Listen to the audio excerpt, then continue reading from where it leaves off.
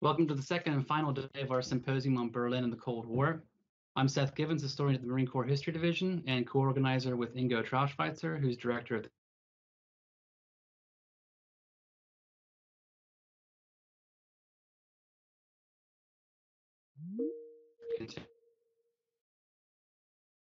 Contemporary History and Ohio University's Baker Peace Study Program. Thanks also to the Allied Museum Berlin and the Berlin Center for Cold War Studies for their assistance. Yesterday, we examined the first decade of the Cold War, a tumultuous period for Berlin. Our panelists presented on U.S. defense planning for the city, the U.S. occupation in both the western sectors of Berlin and West Germany, and the ways in which the 1953 East German uprising in the eastern sectors of Berlin was a Cold War crisis. Yesterday's panels on YouTube and the Contemporary History Institute's Facebook page, and I encourage anyone to reference it if interested. We continue today where we left off yesterday, examining key aspects of a global event, the Cold War, through the lens of one city, Berlin. This next panel focuses on the second period of crisis in Berlin, which began in 1958 due to a lack of answers to the German question and unresolved issues from the previous crisis. Um, the Berlin Wall crisis in August 1961 and a showdown between Soviet and American tanks at Checkpoint Charlie two months later created enduring images of the city's division and the tenuous nature of conflict and peace in the Cold War. This panel considers diplomacy and alliance politics during that period.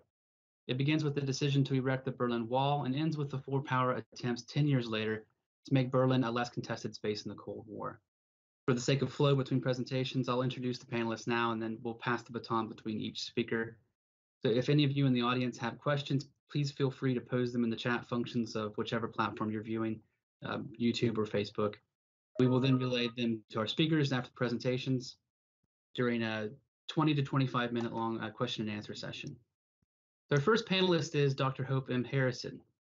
Dr. Harrison's professor of history and international affairs at the George Washington University and the author of two books on the Berlin Wall, Driving the Soviets Up the Wall, Soviet-East German Relations, 1953 to 1961, and after the Berlin Wall, Memory and the Making of the New Germany, 1989 to the present. She's the recipient of fellowships from Fulbright, the Nobel Institute in Oslo, the American Academy in Berlin, Harvard, and the Woodrow Wilson International Center for Scholars. She serves on the board of three institutions in Berlin connected to the Cold War and the Berlin Wall and has been uh, featured widely in the media, including on CNN, C-SPAN, the BBC, the History Channel, and Deutschland Radio. Dr. Harrison's paper is titled East German Soviet Relations and the Decision to Erect the Berlin Wall. Our second panelist is Dr. Erin Mahan. Dr. Mahan's chief historian in the Office of the Secretary of Defense at the U.S. Department of Defense. She's also an adjunct professor for the School of International Service at American University and a non-resident senior fellow at the Miller Center of Public Affairs at the University of Virginia. She's the author of Kennedy, De Gaulle, and Western Europe, and has published several chapters and articles on a variety of topics, including biological chem- chemical weapons, NATO, World War I, and World War II. Her forthcoming co-authored book entitled Averting Doomsday, Arms Control During the Nixon Presidency, will be released by the University of Virginia Press in November 2021. Dr. Mahan's paper is titled The Never-Ending Problem of Berlin, Kennedy, de Gaulle, and the Limits of Alliance Politics. Our final panelist is Dr. Thomas A. Schwartz. Dr. Schwartz is the Distinguished Professor of History and Professor of Political Science and European Studies at Vanderbilt University. He was educated at Columbia, Oxford, and Harvard universities, and is the author of three books uh, Henry Kissinger and American Power, a political biography, Lyndon Johnson in Europe, in the Shadow of Vietnam, and America's Germany, John J. McCloy and the Federal Republic of Germany.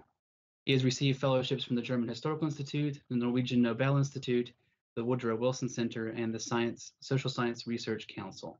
The title for Dr. Schwartz's presentation is Between Freedom's Symbol and Casus Belli, Berlin and the Johnson and Nixon years. So, ladies and gentlemen, Dr. Hope M. Harrison.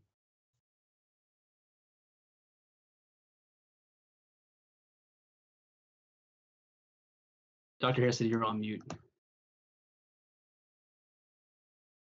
Uh, thank you so much. Uh, thank you particularly to Ingo and Sven for inviting and me and organizing this and it's great to be on the same panel with Erin and Tom. Uh, one of the institutions I'm on the board of in Berlin is indeed the Allied Museum, so I'm very happy to hear that they have been involved in um, uh, supporting this. I am going to open uh, my slides, share my slides. Um, can someone please confirm that you're able to see my slides? We can confirm, yes. Great, thank you so much. All right, well, I think that um, Berlin really had a unique place in the Cold War.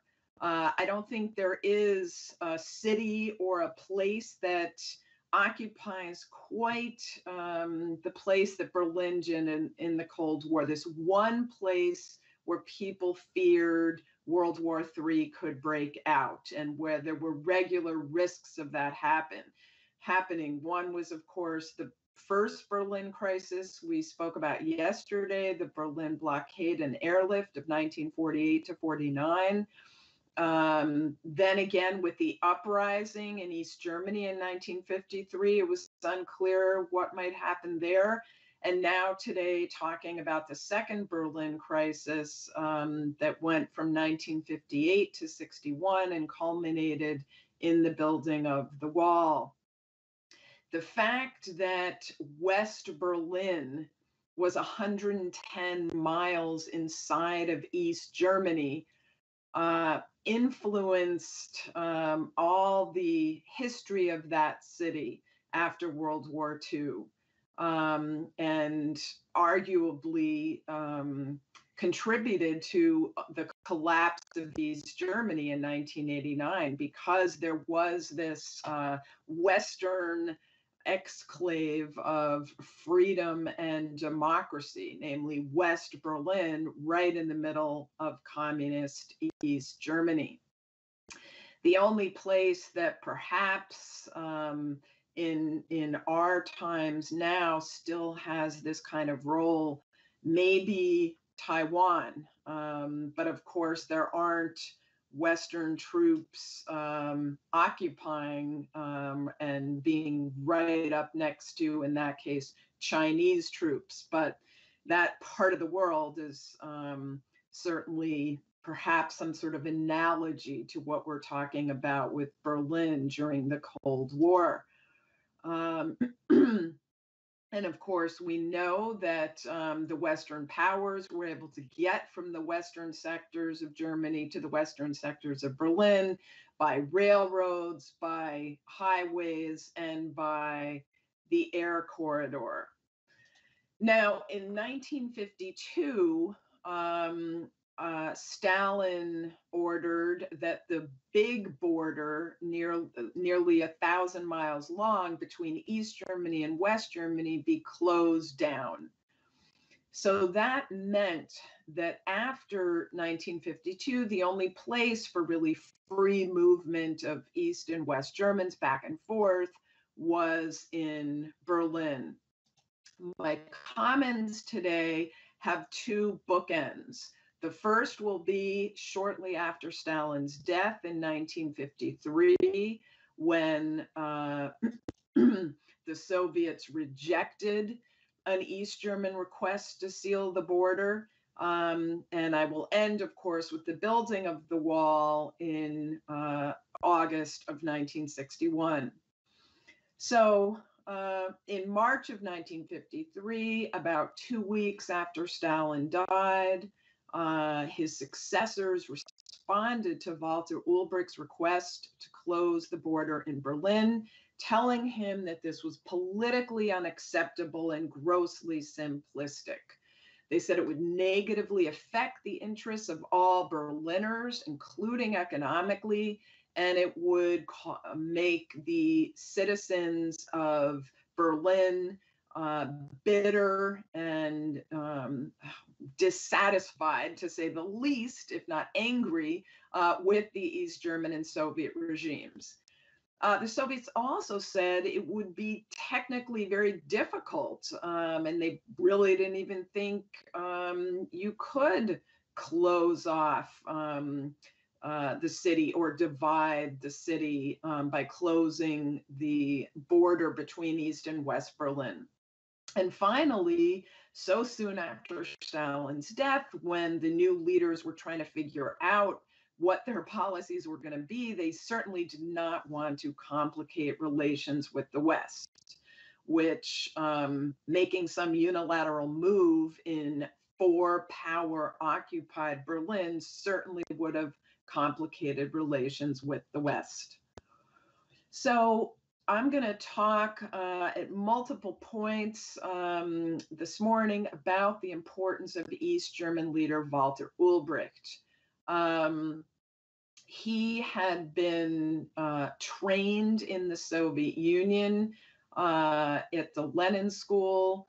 Um, once the Nazis came to power and he went into exile since the Communist Party was outlawed and uh, people were put in prisons and in concentration camps, he instead left and went to the Soviet Union.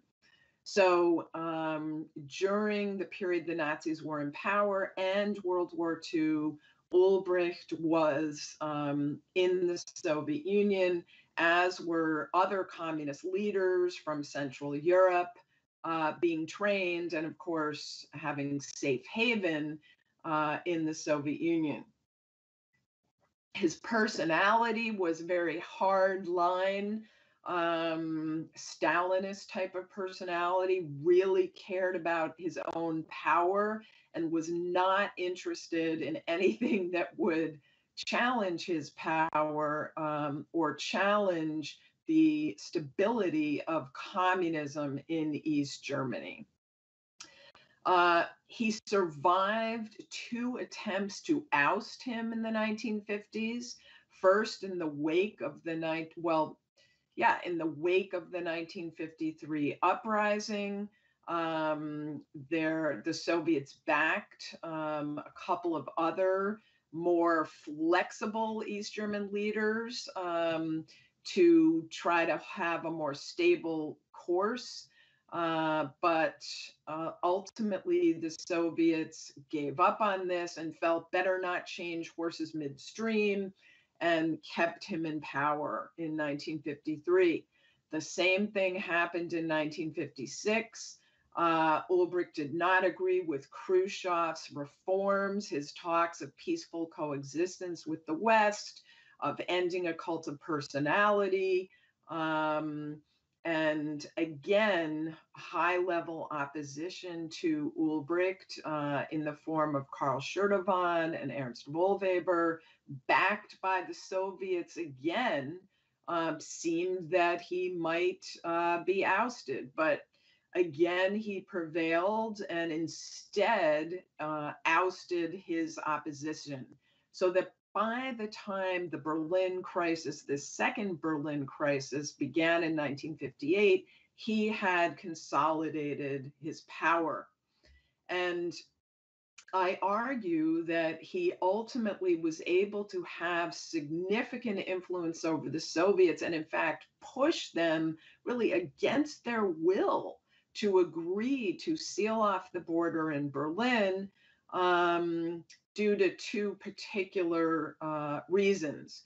His ongoing, persistent, and independent behavior, ignoring Soviet uh, entreaties um, to reform and to uh, try to make East Germany more attractive so its citizens weren't fleeing to the West. Um, and secondly, uh, he was able to have important influence because of the strategic importance of a communist East Germany to the Soviet Union. Now, um, particularly important here are the long term effects of the 1956 uprising in Hungary and its uh, crushing uh, by Soviet military forces the effects of that on East Germany. Uh, the fact that during the unrest in Poland and Hungary, Ulbricht had able had been able to keep things uh, quiet in East Germany um, and did not see major demonstrations as there were in Poland and Hungary, um, helped to secure his power. It also helped him to say, look, other look what happens when other countries have tried reforms. We are on the border with NATO. It is too risky for East Germany, with its open border with West Germany and NATO, to engage in any uh, reforms, including uh, really peaceful coexistence, um, which Khrushchev had um, touted. Um, there also, after the Hungarian uprising, was an increased focus on security in East Germany. Um, which led to an expansion of the Stasi, the secret police, to root all enemies, and yet again reminded the Soviets of how important uh, it was to, to keep East Germany securely in the bloc. Uh, a very specific outcome of the Hungarian uh, uprising and violence um, was that Ulbricht decided that the East German leaders themselves needed to be made safe because in Hungary, some of the communist leaders, um, some communist officials were killed by angry citizens. So, to make sure that couldn't happen in East Germany, between 1958 and 1960, um, they built a walled in compound for all the top leaders to live in, uh, surrounded by um, a wall painted green, just trying to blend in with the forest. This was on no map. Uh, all a map showed was um, um, a nature res- nature preserve and research area. Uh, by the summer of 1960, the East German leaders were moving in to their walled compound um, about half an hour north of Berlin.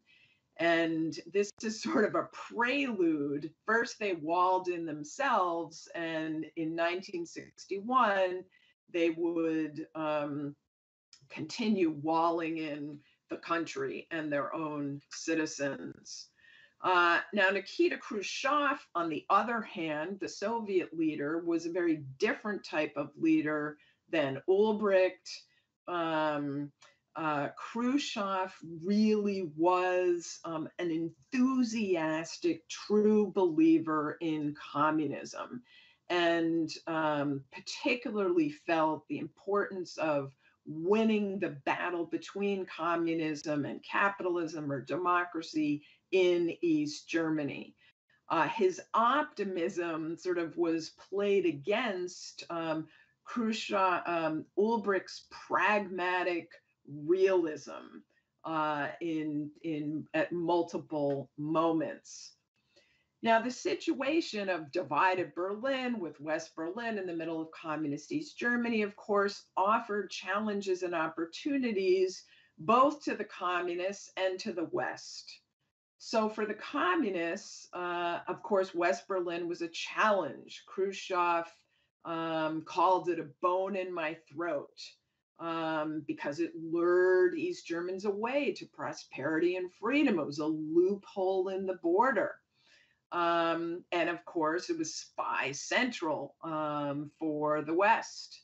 On the other hand, there were obviously opportunities uh, which Stalin had used by blockading Berlin um, in 10 years before. You could use it to pressure to the pressure the West to make concessions. Um, in his polite moments, Khrushchev called it the Achilles heel of the West. In his more um, unfettered, unleashed moments, uh, he called West Berlin the testicles of the West. Uh, for the West, which of course the next speaker, Erin Mahan, I'm sure we'll talk about, um, a big challenge. Could not be defended with conventional forces. Um, there was no way access was going to be guaranteed if the Soviets really um, blocked it off. Uh, there was also a sense that West Berlin was not just a domino for the US, but really a super domino um, you give that up and um, you might risk losing West Germany and other allies in Western Europe. Another challenge was the Western allies disagreed on how important West Berlin was and how much they should risk to keep it free. On the opportunities side for the West, of course, it was a great place to spy on the Soviet bloc and a fantastic way to uh, display the superiority of capitalism and democracy. So, what began the crisis was an ultimatum from Nikita Khrushchev in November of 1958. He set a six month deadline. He demanded of the Western powers that a peace treaty finally be signed after World War II with either a united Germany or the two Germanys. And he demanded that West Berlin be transformed into what he called a free city, meaning demilitarized, um, uh, and meaning the Western troops must leave. Um, or else, uh, he said he would sign a separate peace treaty with East Germany and would turn over control of the access routes between West Germany and West Berlin to Walter Ulbricht. Now, everybody knew that would mean that Ulbricht would try to shut down those access routes so that he could stop his own citizens from leaving. Um, so Khrushchev had a variety of motivations, which I have um, put up here from uh, solidifying the East German regime, getting the West out of West Berlin, showing conservatives at home and in China that he was tough on imperialists, being seen as equal with the US on the world stage, and forcing a split in NATO. The crisis was multiple crises. The one I'm going to talk about, particularly, it's not so much the broader East West crisis, but particularly that there was also a crisis between the Soviets and the East Germans as this went on. Um, uh, by the time uh, the Berlin Wall would be built, over 3 million people had fled. Um, uh, and this was, of course, what um, these German leader wanted to stop. So the conflict um, that would develop between the Soviets and the East Germans, uh, with the Soviet ambassador um, Pervukhin in East Berlin playing a rather interesting role in all of this, and really generally taking Ulbricht's side of uh, it being a problem that the border was open um, because it made people from the East um, not feel so good about the situation in communist East Germany. Um, there were different interests of the superpowers and their German allies on the urgency of the Berlin issue, on how much they should negotiate, and on their willingness to, to risk war. Uh, the West gave in to Khrushchev's ultimatum and held um, um, negotiations of the four powers at the foreign minister level in the summer of 1959. East and West Germans were even allowed to attend and sit on the side, which seemed like Khrushchev was getting somewhere, given that East Germany was allowed to be there. During these talks, Western allies openly considered reducing their presence in West Berlin. Uh, but the talks ended without anything conclusive, and Khrushchev was invited to visit the United States, which of course he saw as a huge victory. Um, a Soviet leader had not been to the United States before, and Khrushchev was absolutely ecstatic about this, traveling around the country from the White House to Camp David to Hollywood to a corn farm in Iowa. President Eisenhower even recognized that the situation in Berlin was abnormal, which of course made Khrushchev feel he was getting somewhere. Um, but uh, it left um, the East German leader, Walter Ulbricht, very frustrated because Khrushchev um, still was not willing to carry out his threats from November of 1958 um, to sign a separate peace treaty and um, also assure Ulbricht that he would help him stop the refugee exodus. Uh, so in the summer of 1960, the four powers met in Paris. Um, the only problem there was that right before that, the Soviets had shot down a U 2 plane flying over the Soviet Union to find out how many missiles did he really have because throughout the crisis Khrushchev kept saying things like you know we are rolling missiles out like sausages um, uh, and then the Soviets announced that not only had they downed the plane, but they had the pilot, Francis Gary Powers. When the four powers met in Paris, Khrushchev insisted that Eisenhower apologize for this, but Eisenhower refused, and Khrushchev stormed out of the summit. Now, this led Ulbricht to say basically, I told you so. You can't trust the West. Let me close the border. We need to close the border. But Khrushchev kept dragging his feet.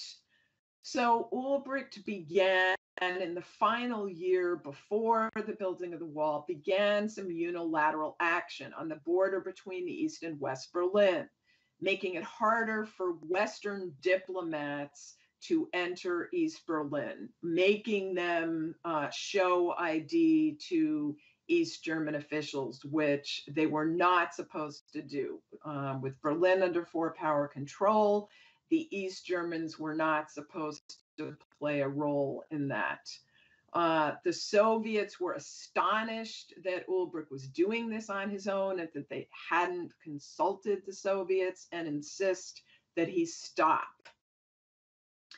Um, one of the ministers at the Soviet embassy in East Berlin cabled back to Moscow in October our friends, the East Germans, are studying the possibility of taking measures directed towards stopping the exodus of the population of the GDR through West Berlin.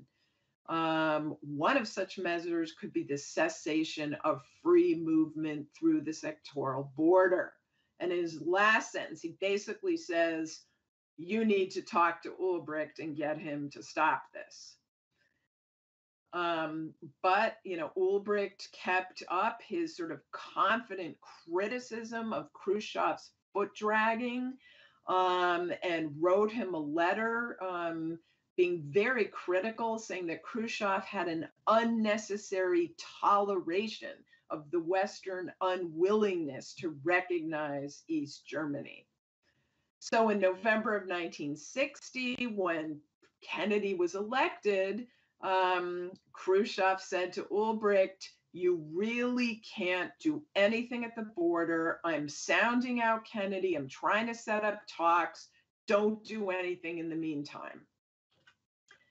Uh, needless to say, um, Ulbricht was not inspired to agree to that, and the Soviet ambassador again in December uh, cabled Moscow about East German unilateral measures trying to limit movement between East and West Berlin.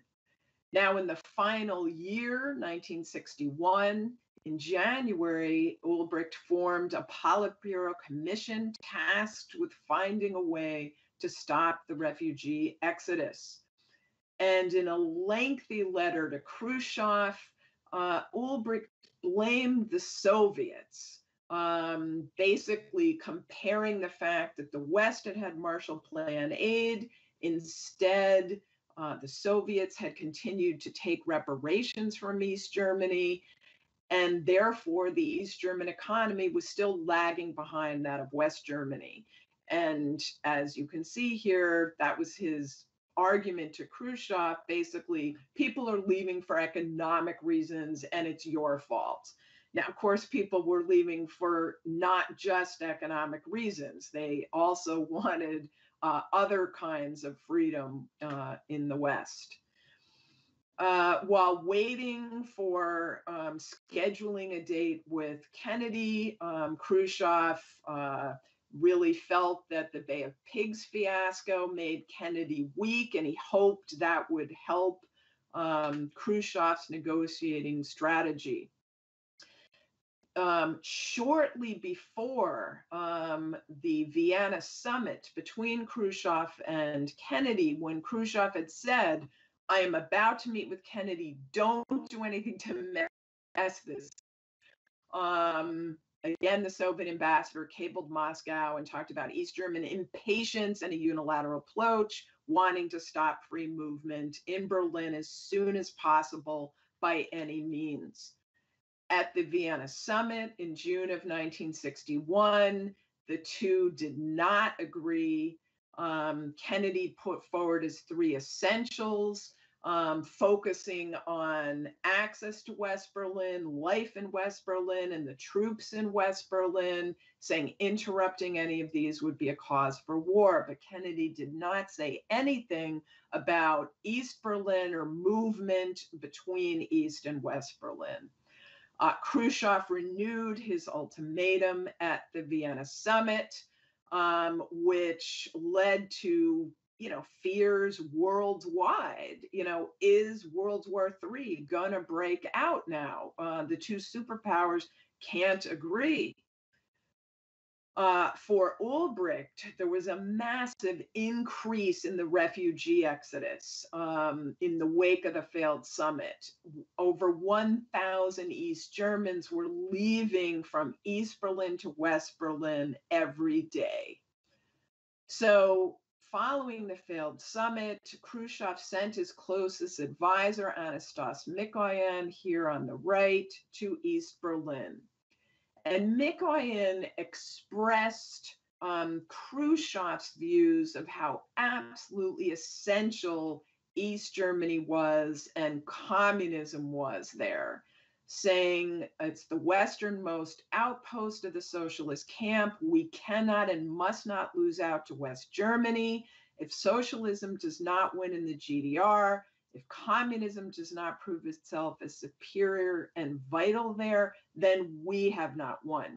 So basically, the whole reputation of communism was on the line um, in East Berlin. Uh, by the by mid-July, Ulbricht told the Soviets if the present situation of the open borders remains, collapse of his regime is inevitable. So around July 20th, after eight years of refusing East German requests to close the border in Berlin, the Soviets agreed.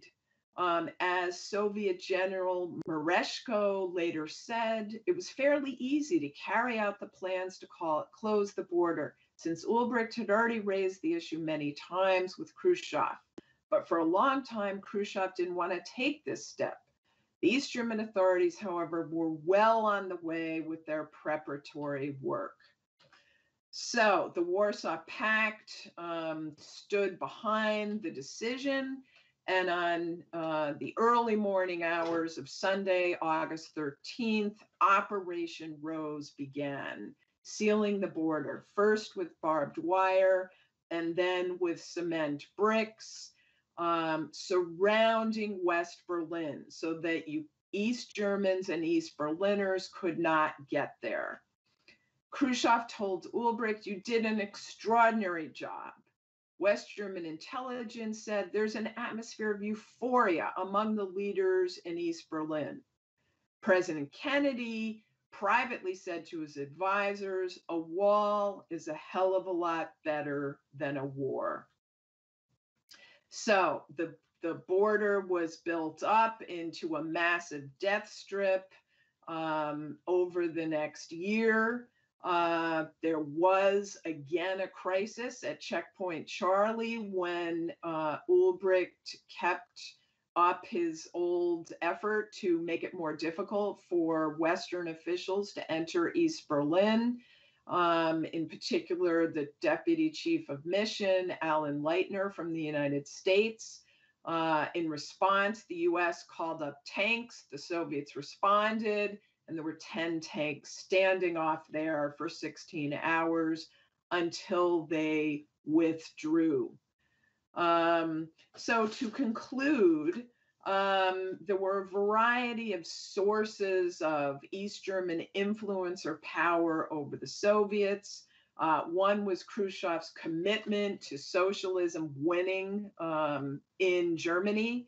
Uh, another was uh, Ulbricht um, exercising, using the weakness, the fear of collapse of his regime as a form of strength in bargaining with the Soviets.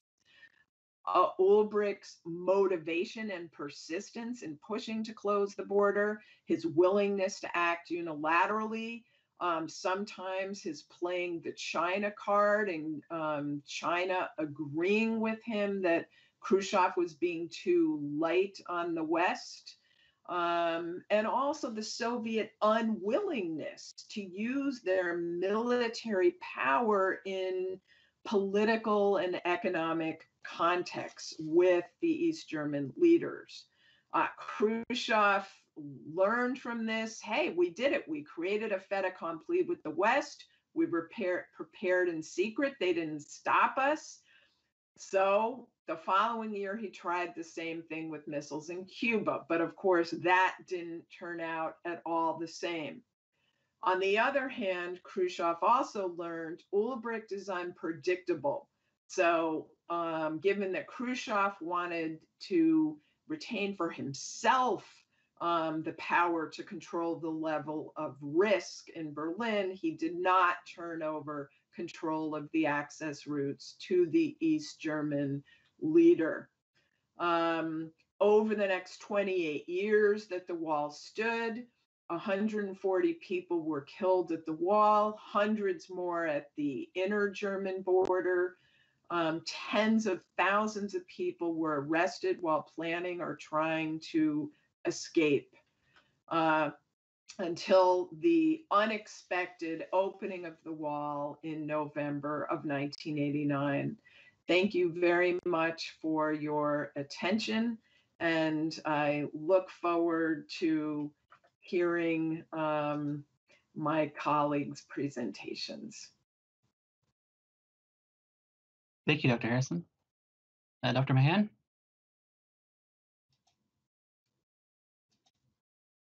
Uh, thank you, Seth. This is my first virtual conference.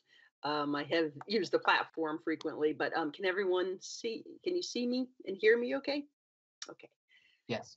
All right. Um, well, I want to thank you, Seth, and I want to thank Ingo and, and all those who helped make this um, conference the transition from what we had all hoped would be an in-person opportunity to to talk once again about Berlin um, because it's a real honor to be on um, on a panel with Hope and, and Tom, um, both of whom were kind of the senior scholars in the field when I was embarking on my own research into the Berlin crisis. Um, so it's it's a pleasure to be here with them, even virtually this morning.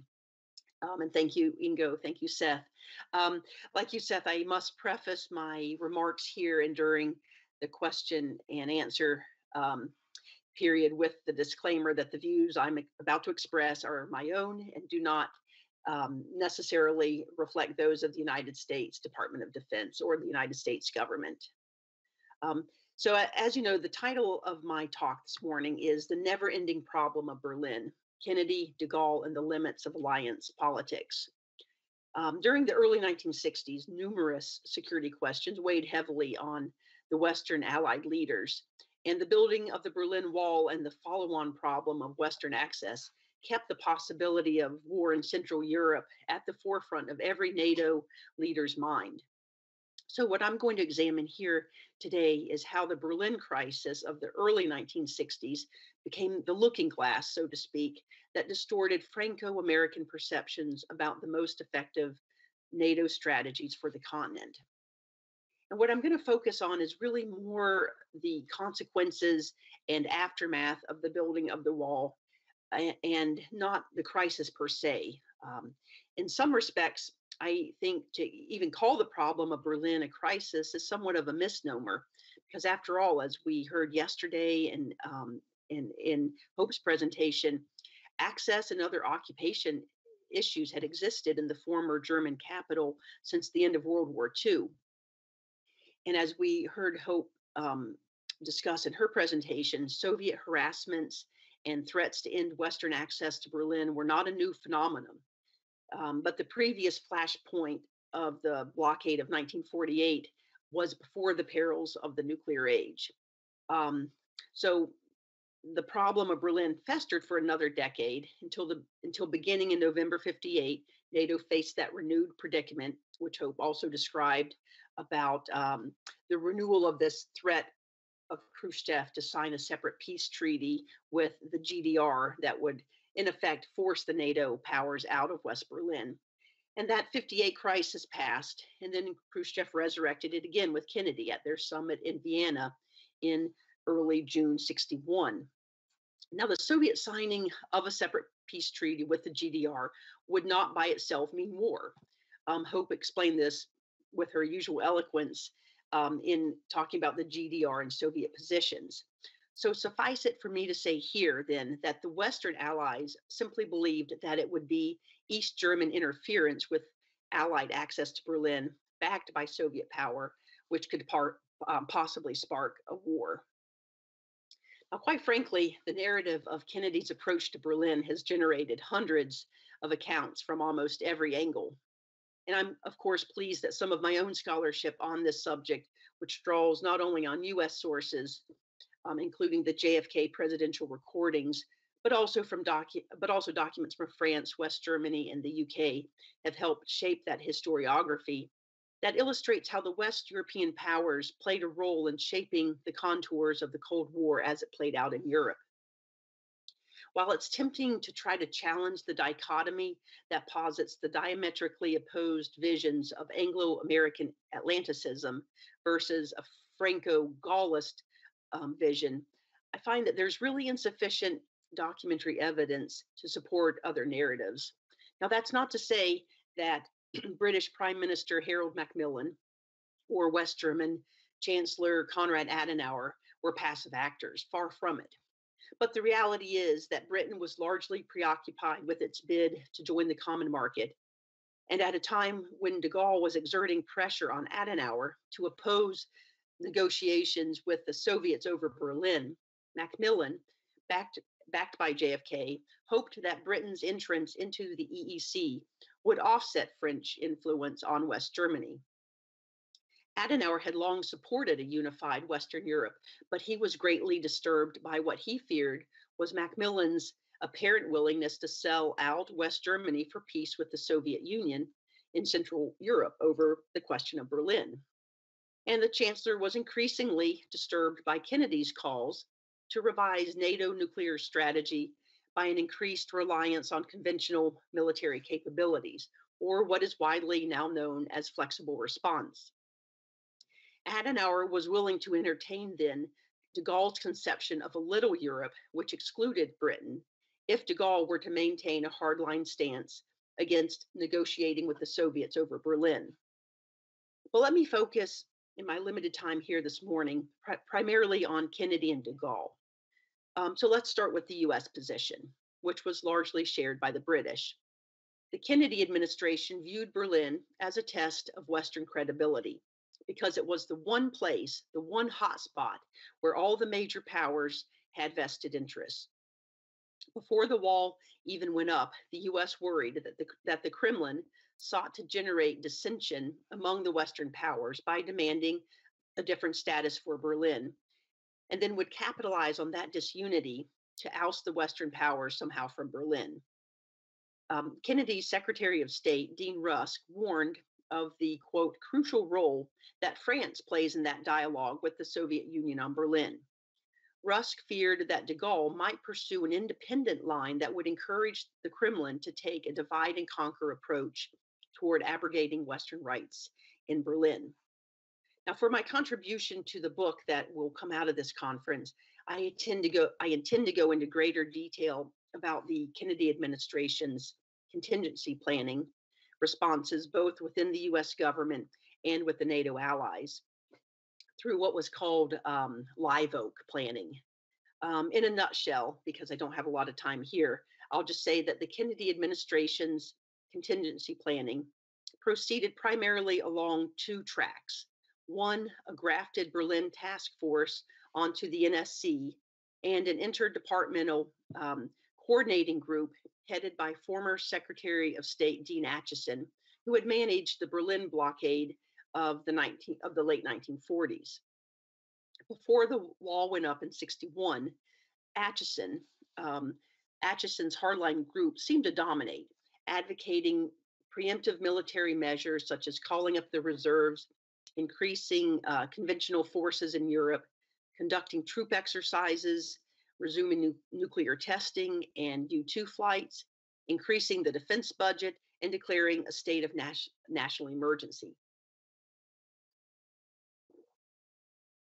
Most importantly, Acheson made it unequivocally clear that the US should defend the status quo if necessary in Berlin with nuclear weapons, a position that sparked, as you can imagine, heated debate within the Kennedy administration. JFK, who had hoped for coherent advice that would allow him to modulate the US response, instead heard only a cacophony of voices from his so called best and brightest. Walt Rostow, for instance, hardly a dove, criticized taking such a hardline position without stating a political objective which would justify, in his words, quote, incinerating the world over access to Berlin. And Kennedy's influential national security advisor, McGeorge uh, Bundy, agreed that, quote, nuclear weapons should not be pursued. Now, Acheson's stance of placing primary emphasis on a nuclear deterrent, which increasingly lost ground within the Kennedy circle, um, resonated strongly with de Gaulle and with Adenauer. And I'll explain um, that reasoning in a minute. But when the East Germans began erecting those barriers in the stealth of the early morning hours of August 13th, 1961, Kennedy is alleged to have felt a mixture of shock and relief, um, supposedly exclaiming privately to his aides the now famous quote, which Hope also quoted, of why would Khrushchev put up a wall if he really intended to seize Berlin? This is his way out of a predicament. It's not a very nice solution, but it's a hell of a lot better than war. Um, now, I, have never, I've not heard such sentiments expressed by JFK in his many um, privately taped presidential recordings. But then again, most of his Berlin meetings um, involved larger number of participants. So it's very likely that he did express something like that as an aside to one of his uh, confidants. As for de Gaulle, um, he did not advocate destroying the wall. He publicly supported Washington, but privately scorned Kennedy's dispatch of 1,200 troops down the Autobahn under the command of General Lucius Clay, the hero of the Berlin blockade of 48. While the US wanted to use the troop dispatch to test whether Khrushchev would actually cut off Western access, de Gaulle thought it was an unnecessary provocation. And, and I want to turn now to the larger effects of the Berlin problem on the NATO alliance. For the Kennedy administration, the ensuing Berlin crisis, or the ongoing Berlin crisis is really the more accurate expression, catapulted NATO's strategy ahead of other European concerns, including plans for expanding the common market through Great Britain's admission. Kennedy believed that the immediate threat to Berlin required defining NATO's nuclear posture and preparing for armed combat short of a full scale nuclear attack. In the event that the Soviets tried to block Western access to Berlin, NATO, in his mind, needed sufficient conventional ground forces and arms um, backed by sea and airlift to counter a Soviet conventional arms threat. The ongoing crisis also led to US demands on France and the other major West European allies for conventional military capabilities on the continent. Kennedy, who had campaigned on a platform of personal sacrifice, extended his clarion call for burden sharing beyond the nation's borders to ask not what the United States could do for Western Europe, but what Western Europe could do for the United States in its common fight against international communism. De Gaulle, as you might imagine, resented U.S. calls for conventional weapons buildup. In a private memorandum circulated amongst his advisors, he fumed that a war over Berlin would rapidly turn French territory into a bloody battlefield. America can lose the battle of Europe, he noted with bitterness, without disappearing. And French generals and civilians at the at the Ministry of Defense shared their president's sentiment um, and resentment. They believed that conventional weapons lacked both political and strategic credibility as a deterrent in the case of Berlin. They reasoned that the Kremlin knew that the United States would never escalate a conventional war to a nuclear one unless the Soviets struck first with nuclear weapons. So the problem of Berlin had decisive effects on French military strategy. Unbeknownst to Washington, de Gaulle began formulating the plans that would culminate in the withdrawal of French uh, forces from NATO in 1966. So it was the Berlin crisis that kind of was the catalyst for that um, event uh, many years later. Um, but as long as a direct threat loomed over Berlin, de Gaulle would allow US forces to remain and use French territory for logistical purposes.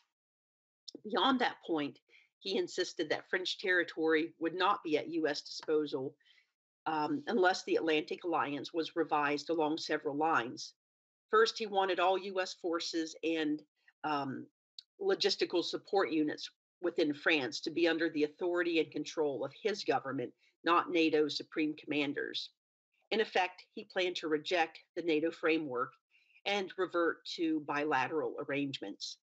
He also left open for, for further consideration whether he would allow the storage of um, strategic weapons in France for use by US squadrons in the event of a flare up in Central Europe perceived American unilateralism concerning Berlin was also decisive in fueling de Gaulle's determination to build, to develop rather, an independent nuclear capability, a force de frappe. He declared unequivocally that under no circumstances would France put its nuclear weapons at the disposal of NATO. And although the French president recognized that Washington, London, and Paris needed to coordinate nuclear strategy, he insisted on what he called a tripartite body independent of NATO to coordinate Western strategy. And I should say here a word of elaboration about how de Gaulle conceived of foreign policy. Um, when I was researching various French foreign ministry files at Quai d'Orsay and in French Foreign Minister Couve de Murville's private papers, I saw the terms that de Gaulle used for foreign policy realités and trucs sprinkled throughout all the documents. The latter term, troops, T, and forgive my my uh, franglais pronunciation, that's T-R-U-C-S. Um, this latter term is pejorative for amorphous things.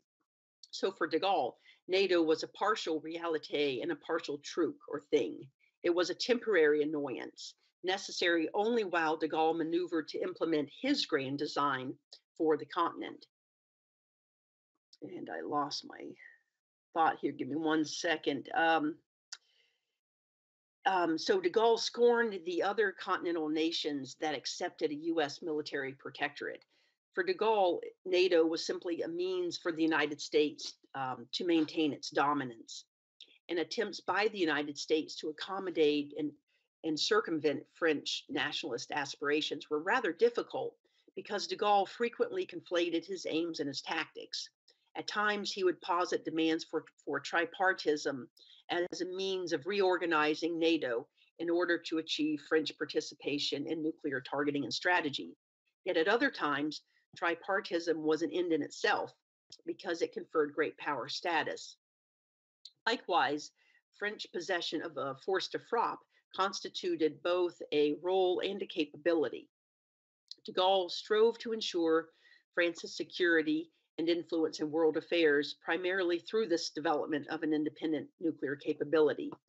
Yet, in the same way that he insisted on, on tripartism, um, he often framed his pursuit of a force de frappe in symbolic terms as the keystone to his foreign policy. His detractors felt that he simply believed the syllogism that great nations have nuclear weapons, France is a great nation, and therefore France must have nuclear weapons. Um, in other respects, de Gaulle was convinced that a nuclear arsenal would provide uh, political and diplomatic leverage as a force to persuasion that could end the humiliation of stationing US troops on French soil or permit um, strategic independence between the superpowers. The French also believed that a force de frappe would ensure um, its supremacy on the continent. And by solidifying um, the kind of burgeoning Franco-German rapprochement, um, France, France with a force de frappe would be the dominant continental partner, while supposedly satisfying West German nuclear um, ambitions by offering it protection. So the main point I'm trying to make and why I dwell on all of this is that de Gaulle's strategic formulations were driven and accelerated by the ongoing Berlin problem. The Berlin Wall, as we heard Hope say, was not built overnight, nor even in several months. And as construction went on and East Germans attempted to escape, Berlin continued to be a very dangerous place throughout the early 1960s and well beyond. The tactical differences that arose between France and the United States um, over how best to shape a credible deterrent to the Soviets had a divisive impact on relations between the two allies and far reaching implications for the Western alliance as a whole. First, it did heighten Adenauer's fears of abandonment, which facilitated de Gaulle's strategy of tying West Germany more firmly to France. The first steps being the 1963 Franco German Treaty of Friendship, and then and also a French veto of Britain's common market bid. The growing Franco-German entente thwarted the formulation of a NATO strategic doctrine based on graduated uh, responses ranging from conventional to tactical um, and strategic nuclear levels. On one occasion, Kennedy exclaimed in exasperation to the French ambassador, quote, that Frank, that great Franco-German entente we are always subject to very sharp criticism by the Germans for not doing one thing or another. But we're doing everything we committed to under NATO, and France isn't even fulfilling its NATO commitment. Because under NATO policy director directives MC 70 and 26 4, France was committed to contributing four divisions, but produced only two and a third. And just as bad from the US perspective, um, the West German requirement of 750,000 armed forces needed to fulfill its commitment um, under MC 26 40 also failed to materialize. In short, the problem of Berlin created an insurmountable obstacle to making Kennedy's declarations of a shift in NATO's strategy to flexible response a reality, um, an actual implementation of such a doctrine um, Kennedy articulated his rationale for flexible response to, to um, his predecessor Eisenhower in a very colorful quote that I will share with you here. He says, quote, when we have this problem of maintaining our position in Berlin, where you may be using sort of gradually escalating force to maintain yourself in Berlin, you can't suddenly begin to drop nuclear weapons the first time you have a difficulty. And it's a very valid reason for our emphasizing the necessity of the West Europeans building up conventional forces. You can't go up the Autobahn waving an atom bomb and say the first time a bridge is blown out in front of you, you can't begin a nuclear exchange with the Soviet Union over getting to Berlin, unquote.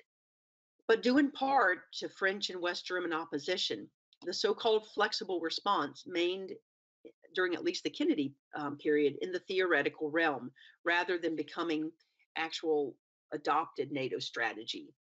In some, due in no small measure to the never ending Berlin problem, mistrust permeated both the Atlantic Alliance as well as East West relations.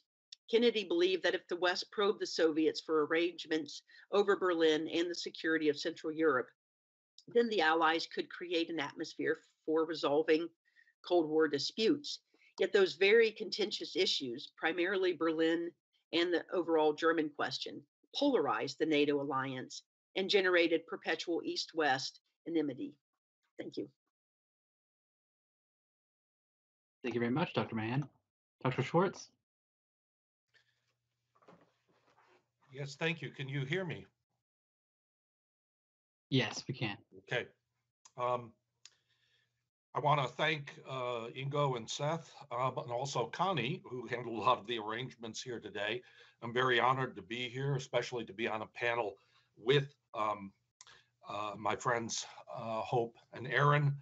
Um, just a, a, quick note Erin's uh, forthcoming book is really excellent on so many issues related to to now and uh, different types of warfare that were dealt with during the Nixon years. Um, I do regret the fact that we're not in person. Uh, I uh, um, uh, I had a very memorable experience in Athens, Georgia, now some 33 years ago. Um, it was the first opportunity to meet John Gaddis in person.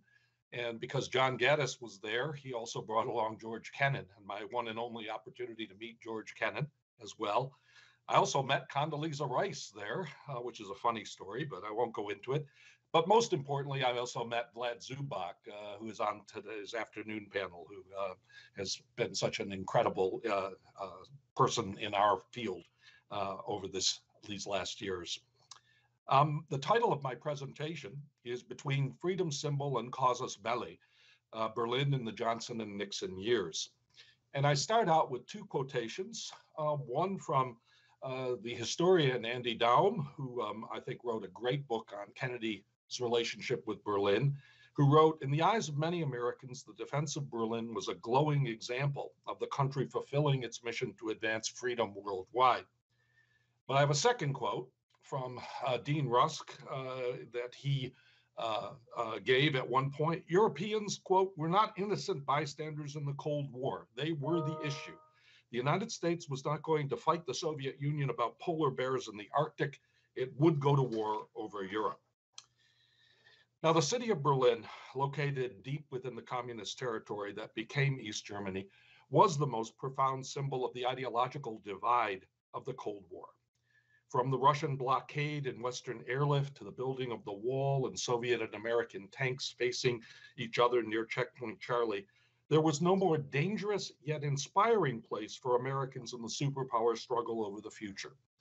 When John, President John F. Kennedy proclaimed, Ich bin ein Berliner, his Boston accented German stirred tumultuous cheers from a massive crowd in the former German capital city, but it also connected emotionally with his own countrymen as well, clarifying the distinction between the free world and a communist system that required a wall to keep its people in. The great irony of this was that the Kennedy administration had been trying to find a formula to defuse the crisis status of the city a negotiating process that only came to an end after the Cuban Missile Crisis. Even during that crisis, President Kennedy had speculated at first that Nikita Khrushchev's purpose in Cuba was to trade the Caribbean country for Berlin. Now, the argument I'm going to make in the paper and that I make in I will make in the article for this book is that both the Johnson Johnson, Lyndon Johnson, and Richard Nixon administrations faced a policy dilemma over Berlin. On the one hand, they wish to preserve the freedom of the western half of the city as the symbolic capital of the West in the Cold War, a city whose separation by its ugly wall perfectly represented the ideological struggle in a clear good and evil manner. As Kennedy himself had put it when describing how some had talked about communism as the wave of the future or the progress made under communism, let them come to Berlin for Germans standing firm in Berlin also represented the ultimate hope for reunification rather than permanent division. On the other hand, both Lyndon Johnson and Richard Nixon wanted to lower the temperature of the Cold War and move towards some type of detente, a complex process in which the division of Germany and Berlin would have to be recognized, and in which the national interests of the United States and its German ally might not coincide. Central to that process would be an arrangement over Berlin, an arrangement that would regulate its status, maintain the freedom of the Western sector, but prevent it again from becoming a possible source of direct military conflict between the superpowers. The solution to this dilemma would be the quadripartite agreement of September 1971, whose 50th anniversary was recently noted, but is one of the least heralded but most important international agreements of the Cold War. So first I'll deal with the Johnson administration in Berlin. As vice president, Lyndon Johnson had traveled to Berlin shortly after the wall was built and told some 300,000 Berliners at City Hall that America's commitment to Berlin was the same as our ancestors uh, pledged in forming the United States our lives, our fortune, and our sacred honor. However, by the time he became president after John Kennedy's assassination, the Cold War had changed. The Cuban Missile Crisis brought the United States and the Soviet Union closer to nuclear war than they had ever been. And in the aftermath of that crisis, President Kennedy had taken steps to decrease the risk of conflict. Johnson observed how Kennedy's limited nuclear test ban treaty, signed in August of 63, had boosted the president's popularity, and he was determined to continue Kennedy's attempt to reach agreements with the Soviet Union. Although he pledged to keep faith with existing treaty commitments, quote, from South Vietnam to West Berlin, Johnson also told the United Nations General Assembly in 1963 that, quote, the United States of America wants to see the Cold War end. And one of Johnson's first successes in Congress came with the Christmas Eve passage of a bill allowing the sale of wheat to the Soviet Union. Christmas 1963 also brought with it one of the first openings in the Berlin Wall, as the pass program allowed thousands of West Germans to visit relatives in East Berlin.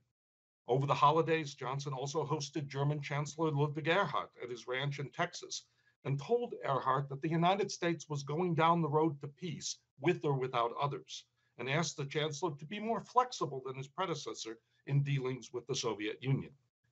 Johnson made a point of emphasizing how Konrad Adenauer had repeatedly warned him about trusting the Russians, but that Adenauer's position was, in Johnson's words, too rigid, and that he didn't want the rest of the world to think that only the Russians wanted peace.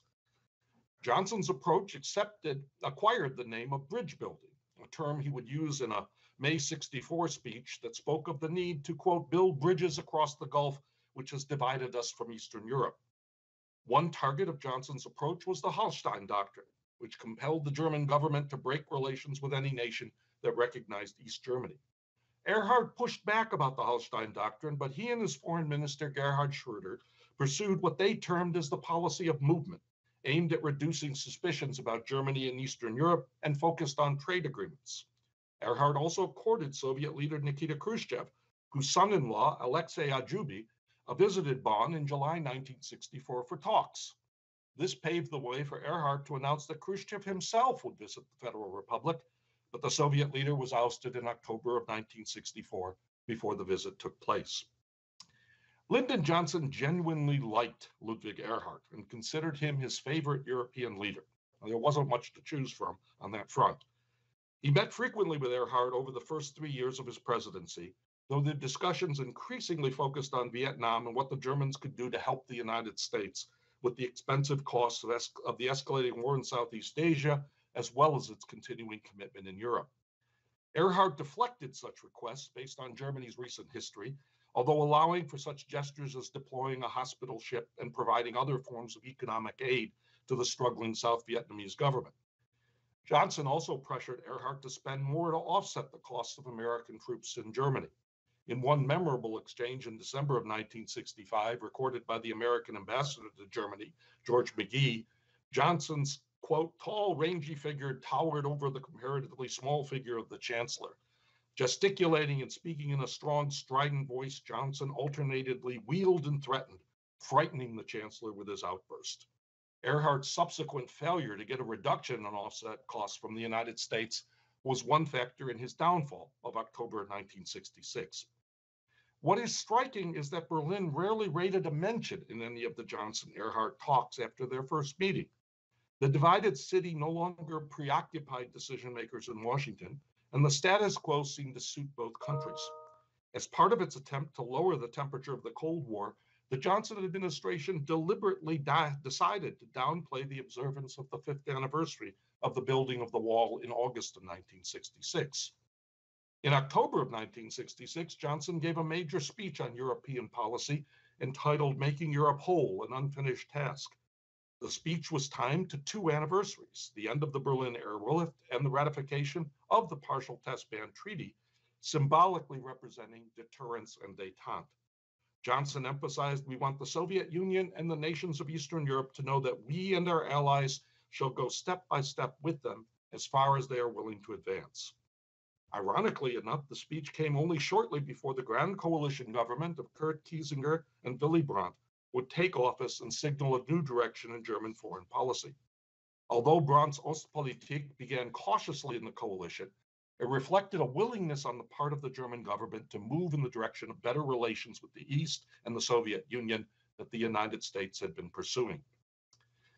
By the late 1960s, West Berlin itself was changing, as its demographics and political coloring shifted from Cold War fundamentalism to New Left radicalism.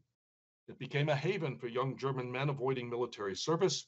And as Andreas Daum noted, the city offered, quote, the New Left and critics of the United States more room for maneuver than anywhere else in West Germany. Vice President Hubert Humphrey's visit to the city in April 1967 encountered a militantly anti American protest from the extra parliamentary opposition. Shouts of Johnson murderer and Washington go home echoed through the streets.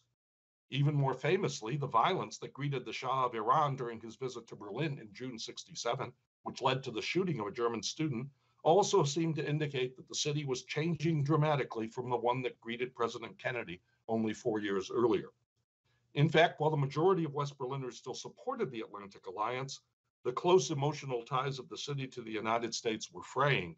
In June 1968, after the assassination of Senator Robert F. Kennedy, student organizations refused to participate in any memorial services, a striking contrast to their role five years earlier. The polarization of the city did not substantially dissipate even after the Soviet Union invaded Czechoslovakia and seemed to put an end to bridge building. The hope that the Cold War was coming to a quick end and that the superpowers' hold over their part of Europe was dissolving. Now I want to move into the Nixon administration's policies. When Richard Nixon was inaugurated as president in January 69, he proclaimed that after a period of confrontation, we are now entering into a period of negotiations. Nixon's reputation as a tough and unreconstructed Cold Warrior led to considerable skepticism about this assertion, but the president understood the mood of the American people and the transformation of the international scene.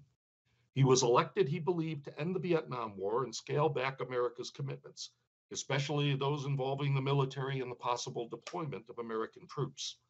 He also recognized the rapid growth of Soviet nuclear capabilities over the course of the 60s had changed the dynamic of the Cold War, creating a genuine balance of terror and instilling doubt about America's commitment to defend Western Europe. Along with his foreign policy advisor, Dr. Henry Kissinger, a German born Jewish immigrant, Nixon wanted to implement a less expansive and realistic foreign policy that secured America's national interests but limited her sacrifice in blood and treasure. Kissinger, who played a key role in explaining foreign policy to journalists, argued that, quote, we have no permanent enemies and that we will judge other countries on the basis of their actions, not on the basis of their domestic ideology. This new realism was also the theme of the administration's first annual report of United States foreign policy issued in February of 1970 and designed to convey Nixon and Kissinger's new approach to foreign policy to match a new era in international relations. Almost immediately on entering office, Nixon and Kissinger faced a potential crisis in Berlin. The Federal Republic planned to hold its Federal Assembly to elect the new president of the Republic. Given the contested nature of West Berlin as a sovereign part of West Germany, the decision to hold the assembly there was a strong policy statement and potential provocation by the Kiesinger government. Even though the presidency was largely a ceremonial office with little power, the East German government protested vehemently, and the Soviet Union supported its position. The East Germans began harassing traffic between West Germany and West Berlin. Now, Nixon wanted his first trip abroad to be to Western Europe, an area he regarded as blue chip compared to the rest of the world. And at that time, a trip by an American president to Europe um, would be incomplete without a trip to West Berlin. And even though Nixon worried about comparisons with his charismatic predecessor Kennedy, he arrived in Berlin only a few days before the scheduled General Assembly election on February 27, 1969. Prior to his arrival, Nixon had used Kissinger's back channel with the Soviet ambassador Anatoly Dobrynin to make it clear to the Soviets that a new crisis over Berlin or anything approaching another blockade would have a serious impact on his willingness to enter into arms control negotiations or otherwise improve US Soviet relations. He also had Kissinger convey the idea that there would be no bridge building in his administration and that the US accepted Soviet dominance in Eastern Europe. Now, when he was in Berlin, Nixon did make it a point to stress his commitment to the city. No unilateral, quote, no unilateral move, no illegal act, no form of pressure from any source will shake the resolve of Western nations to defend their rightful status as protectors of the people of free Berlin. In words less eloquent than Kennedy's, but also less dangerous, Nixon argued that if this is an age of symbols, one of the great symbols of the age is this city. However, Nixon then pleaded to his listeners to set behind us, quote, the stereotype of Berlin as a provocation, and that the question now is how best to end the challenge and clear the way for a peaceful solution to the problem of a divided Germany. Taking a cue from Kennedy, but changing the words in an important fashion, Nixon closed his speech by saying, quote, in the sense that the people of Berlin stand for freedom and peace, all the people of the world are truly Berliners. Now, Nixon's speech was an early indication that he and Kissinger were theoretically ready to negotiate new arrangements on Berlin. But this was not an urgent priority of the administration. The administration was dealing with Vietnam, nuclear weapons talks with the Soviets, and trying to open a channel to communist China. It would take the German elections of September 1969 to force Nixon and Kissinger to reconsider their approach to Berlin and Germany. Germany's Social Democrats narrowly prevailed in the election and came to power in a coalition with the Liberal Democrats for the first time in post war history. Willy Brandt, the famous and charismatic mayor of West Berlin, took office as chancellor with the determination to accelerate the Ostpolitik he had begun as foreign minister. Brandt's key advisor, Egon Bahr, visited the United States and told Kissinger that Germany would now be more self reliant and not always compliant toward the US signaling in effect that the Germans would practice their own form of informing rather than consulting with the United States. Kissinger told Bahr that America wanted to deal with Germany as a partner, not a client.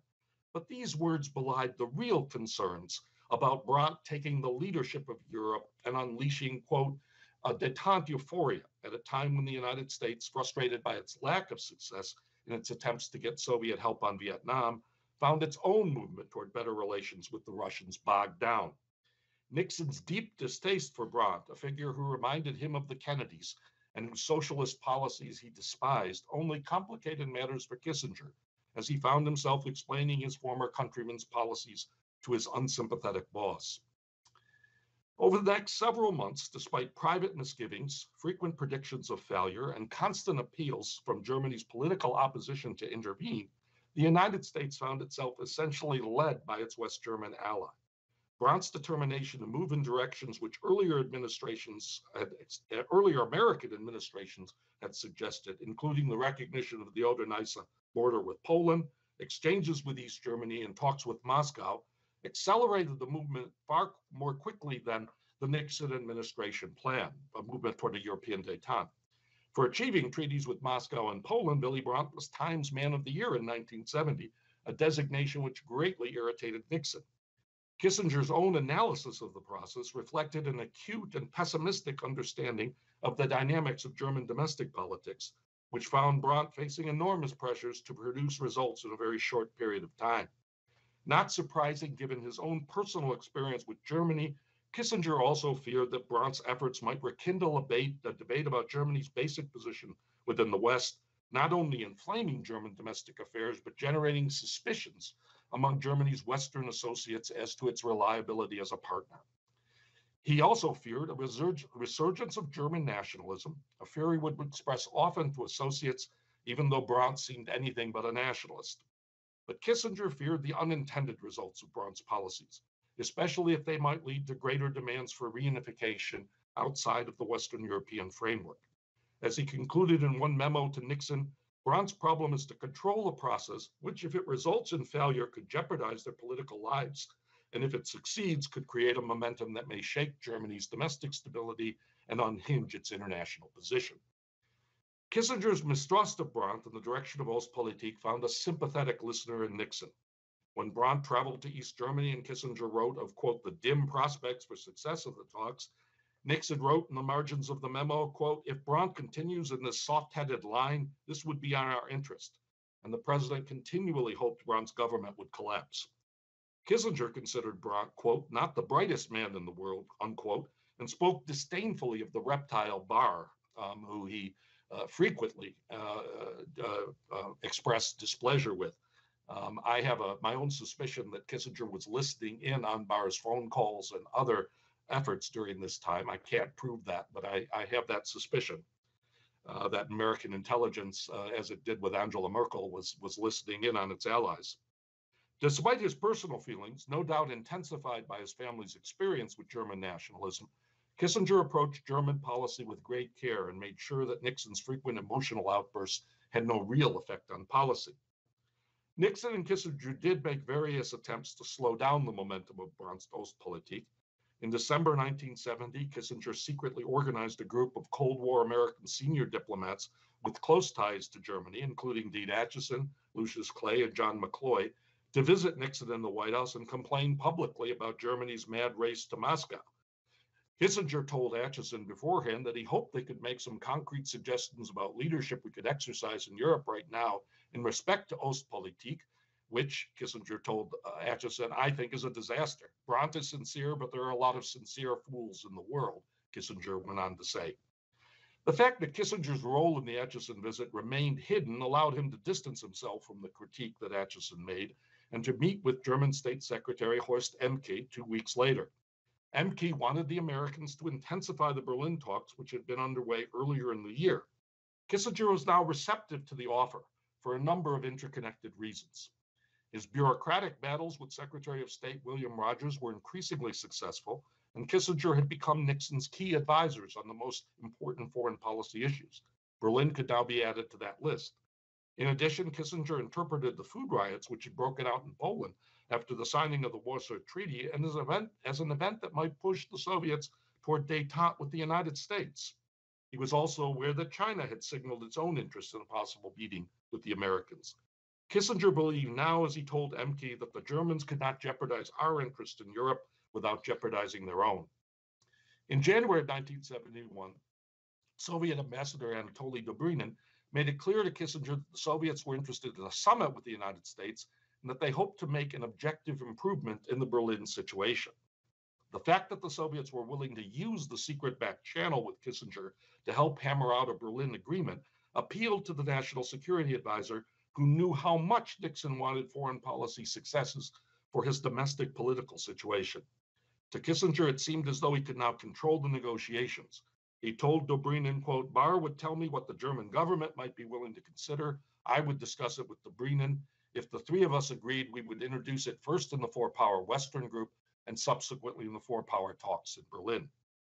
Over the next months, the Berlin negotiations proceeded on these two levels officially on the ambassadorial level with the four major powers, and secretly during meetings of the US Ambassador Kenneth Rush, the Soviet Ambassador Valentin Falin, and Brandt's aide Egon Bahr. They referred to themselves as the Three Musketeers. Rush was the one participant in both sets of talks, as Kissinger called him the linchpin. Rush, Kissinger wrote, kept me brief for my negotiations with Dobrynin. He kept in close touch with the other Western allies to make sure that the Allied positions remained compatible. He also had to curb Bahr's propensity for solitary efforts and for claiming credit with the Soviets for all concessions made. Although Kissinger would also connect Berlin with other parts of his complicated diplomacy during this period, on Berlin, he acknowledged that the process worked, quote, due in large measure to Rush's unflappable skill. And Kissinger's willingness to give so much credit to Rush for a foreign policy achievement in the Nixon administration is noteworthy, largely because it is so out of character.